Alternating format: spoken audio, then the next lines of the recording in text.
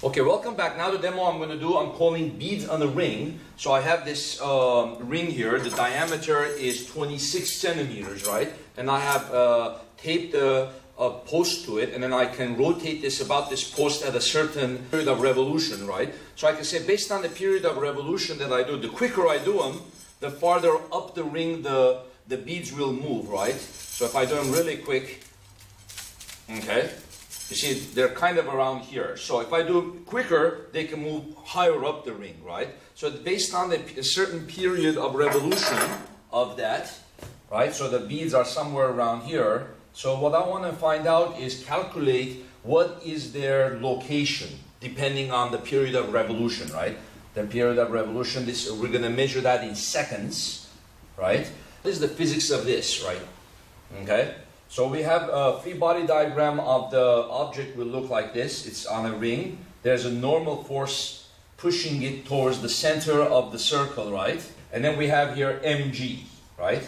So then we can break the forces into components. We can say, let this angle be theta, right? So if that angle is theta, this is a mg. This angle is also theta, right? So this angle here is a theta. So we can say n cosine theta is mg, n cosine theta is mg, and then we can say n sine of theta is equal to mv squared over r, right? Where r is the radius of the circle that it's making, this effective radius of the circle, right?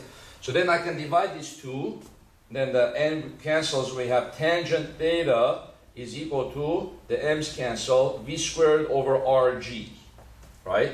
But I want to express this in terms of the in terms of the period of the motion, right? In the past, we've done this with other problems where we say velocity is 2 pi r over period, right? 2 pi times the effective radius divided by the period. Then we put it in here.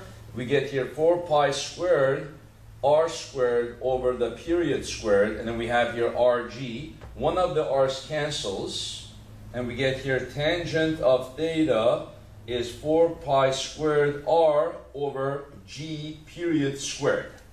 Okay, so one of the r's canceled. And so I can call this r little r, right? That means that's the effective radius of the path. So let's call that one little r. Okay, so then I can relate based on the geometry of the case, right, I can say this is a little r and this is theta, right? And then this is the radius of the circle, of the actual ring itself, right? So then we can say um, sine of theta is equal to what? Um, r over r, right? So then we can say r is equal to r sine of theta, okay?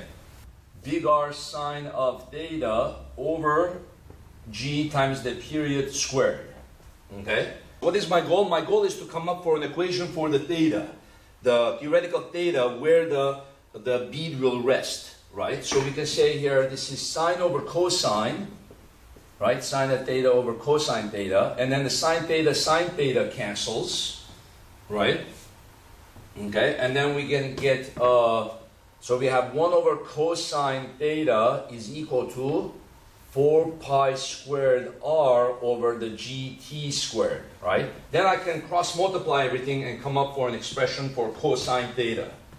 Okay? So we have here cosine theta is equal to g times the period squared divided by uh, 4 pi squared r, where r is the actual radius of the, the ring that we are using, right? So in my case, of course, the data will depend on the period, right? So let us measure 20 cycles of the period and then approximately notice where the beads are resting. Go. 1, 2, 3, 4, 5, 6, 7, 8, 9, 10, 11, 12, 13, 14, 15, 16, 17, 18, 19, 20. Okay? So it's kind of hard to do this because I'm trying to both time it and do the revolutions. So let's do that again. It came out about nine seconds. One, two, three, four, five, six, seven, eight, nine, 10, and 12, 13, 14, 15, 16, 17, 18, 19, 20. Okay, so 8.5 seconds. So 20 cycles is taking 8.5 seconds, 5 seconds. So in a good physics problem, what they'll tell you, they'll actually tell you, you have a ring, they'll give you the radius of the ring, they'll give you the period of uh, rotation of the ring, and then they say, what, what is the angle? Or they might ask for the little r, right?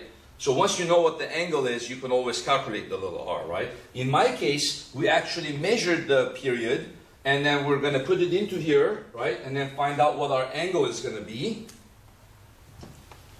Okay, so we have here cosine. Uh, this is 9.8, right? So the period uh, is going to be 0.425 squared over 4 pi squared, and then the r is going to be half the diameter of the ring, so that's 0.13. Okay, so let us calculate that. Degrees, 69.8 degrees, so it's quite high. It was somewhere here, predicted angle, uh, 70 degrees, right? So that's pretty high actually. So then, uh, where when I did it, where was it? Where were the beads? They were kind of like, visually, you can see that the beads were around here, right? something like that. So you can kind of see, okay, um, if the angle was 69.8, the other problem, the, the other thing that the problem can ask is what is the r value? What is the little r? So then the little r is going to be r sine of theta, right? So then we can say r is going to be the 0.13 sine of 69.8, okay, meters. Okay, so then what I can do is I can say, okay, I can go like this and then kind of make a visual note of where the bead is at. Okay, then somewhere, somewhere here. Then I can measure the distance between that and the, the center, so 12 and a half centimeters right there. Okay. So my experimental R came out to be 12 and a half centimeters. So of course, uh, it's kind of visual. You're kind of doing that and you're trying to guesstimate where it is. And then uh, my period itself is kind of not exact because I'm by myself doing it. But you can kind of get the idea of the problem. So what do we learn from this problem? The bigger the period, if the period is big, what does that mean? Okay, that means you're going slow. It's going very, very slow. So if the period is big, what's going to happen, the angle, the angle is going to be very small, right? Because they're going to be kind of down here. So this angle is going to be small. When the angle is small, the cosine of the angle is big, right? So when the period is big, cosine of the angle should be big, and that means the angle is actually small. You see? So the, the equation is actually working out. So then, as the period goes smaller and smaller, smaller and smaller, what happens? the cosine of the angle goes smaller and smaller, and then the angle gets larger and larger. So the angle gets larger and larger means that this angle starts getting bigger, bigger, bigger, bigger, and the thing goes up all the way like this. Now, can the thing ever go more than 90? Right? So let's say you're doing so fast that the t almost approaches zero, right? The t approaches zero. What's the greatest that the angle can be, right?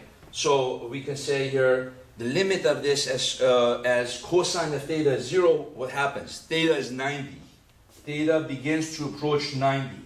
So that means no matter how fast I do this, it can never actually go like this and then supersede a 90.